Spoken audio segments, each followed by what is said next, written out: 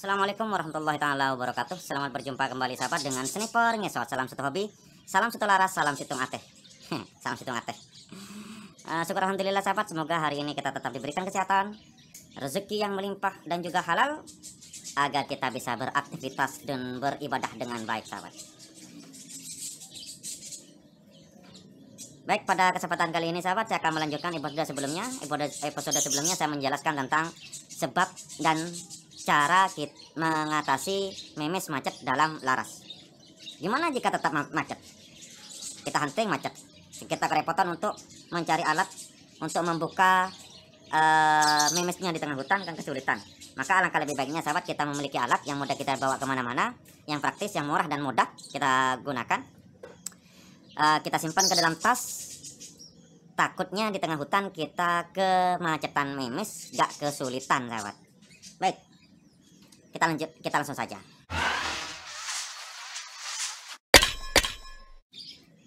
Bahan yang kita butuhkan apa?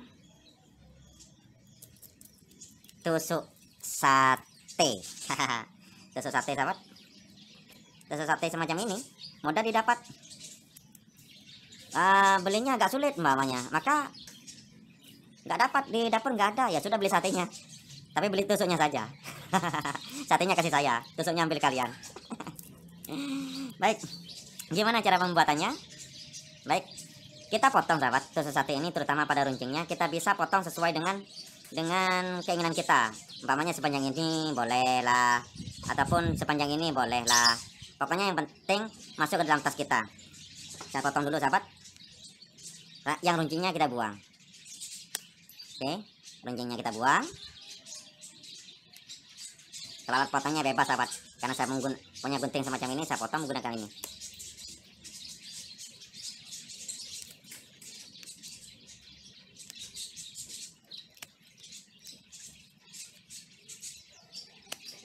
Sudah. Seperti yang telah saya katakan sahabat panjangnya bebas lah. Sepenting yang penting ketika kita menggunakan ini pas kepada panjang laras kita. Panjangnya bebas sesuai dengan keinginan sahabat. Kecil-kecil semacam ini juga nggak apa-apa. Loh kok tak nggak panjang Oke, saya jelaskan cara penggunaannya, sahabat. Cara penggunaannya ya. Oke, kita langsung praktek. Sebelumnya saya akan masukkan sebuah memes, sahabat, ke dalam chambernya ya. Oke, ini memes. Saya masukkan, kemudian saya dorong. Masuk ke dalam. Oke, anggap memes ini sudah ada di dalam, sahabat. Oke, sudah ada di dalam sini. Bagaimana cara membukanya? Kalau macet, maka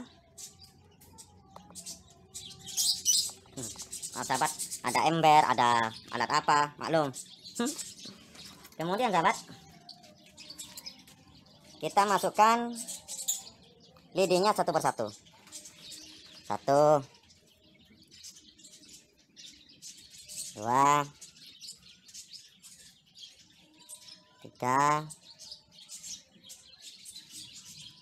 Empat. Empat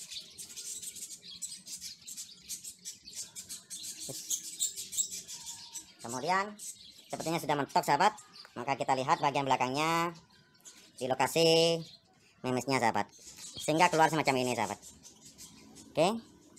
Ini sudah keluar kan? Memesnya sudah keluar. Baru kita bisa ambil memesnya selanjutnya sahabat. Ini gimana? Uh, bambu yang ada di dalam. Ha, kita dorong lagi ke depan sahabat. Kita dorong aduh kerepotan ya. Kita dorong ke, de ke depan. Habis itu kita pompa sahabat. Kita pompa kemudian kita tembakkan ke tanah. Oke saya pompa dulu sahabat. Maka kita tembakkan saja ke tanah untuk mengeluarkan sisa bambu yang ada di dalam sahabat. Nah sudah keluar? Nah, ini bambunya. Sudah keluar. Baik cukup mudah kan pembuatannya? Maka kita bisa menggunakan tusuk, tusuk sate saja ataupun kita buat sendiri sahabat dari bambu yang kita potong-potong. Kemudian kita bisa rangkai.